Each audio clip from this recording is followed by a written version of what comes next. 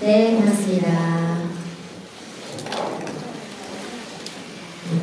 자, 일단 본격적인 질의응답 시간을 가기 전에요. 간단한 인사와 함께 자신의 역할 속에 또 드라마에 참여하는 소감 먼저 여쭤보도록 하겠습니다. 일단 감독님, 네, 시간이 멈추는 그때 여러분 작게 되셨는데요. 네, 함께 하셔서 어떠셨는지 또 작품 어떤 작품인지 간략히 소개도 부탁드리겠습니다.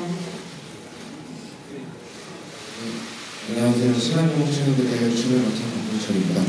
저희 드라마 시간이 멈추는 그때는 그 판타지 장르를 속에서 우리 주변에서 사는 사람들의 이야기를 소소하게 담아내는 드라마고요. 즐겁게 시청해 주시면 감사합니다. 네, 감독님 고맙습니다. 자, 이어서 김현준 씨. 시간이 멈춘 그때 문준이라는 김준입니다. 네, 문준이라는 사람은요, 어, 자기의 과거도 어, 정체도 모르는 채 살아가다가 주인공 선아를 만, 어, 여자 주인공 선아를 만나면서 이제 자기의 과거도 알아가고 또 삶에 대한 희망을 좀 느껴가면서 살아가는 그런 역할을 맡았습니다. 네. 네, 안녕하세요. 어,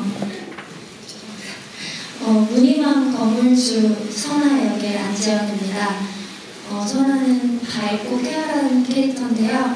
유명한 아빠가 남긴 빛을 갚으면서 살아가는 캐릭터가 멈춰질 주의 시간 속에서 유일하게 움직일 수 있는 사람입니다. 감사합니다. 맞습니다. 유일하게 움직이 쓴 선아. 네. 네, 안녕하세요. 윤규진입니다. 반갑습니다. 반갑습니다. 어, 네.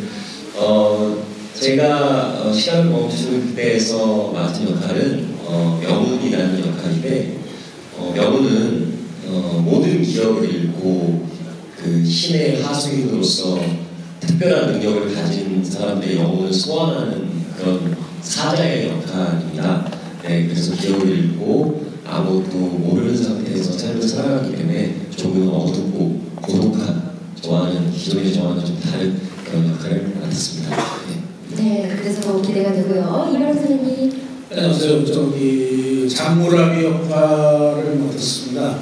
그래서 장무라비는 왜 이름이 없냐 그러니까 전직 신이라고 그러더라고요. 아, 아, 옛날 코미디 할때 염라대왕 한 이후로 신은 같은데. 네. 어, 애가 우리 김현준 군과 같이 기록대학 하면서 어, 재미가 열심히? 찍었는데 네. 관심 있게 좀 봐주시기 바랍니다. 감사합니다. 네, 좋습니다. 고맙습니다. 네, 안녕하십니까. 배우 주석태입니다. 아, 제가 맡은 역할은 시간 멈추는 그때에서 여기 전직 신 그리고 전, 지금 현직 신 역할을 맡았습니다. 아주 전지전능하고요. 아, 저희 드라마는 물론 어, 약간의 어떤 뭐지 판타지 판타지 판타지성을 가지고 있긴 하지만 결국 이 드라마를 다 보시게 되면 결국에 인간의 본질은 사랑이다.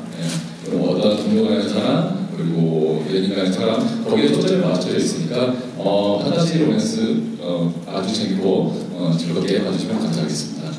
네, 이렇게 인물 소개까지 모두 들어봤는데요.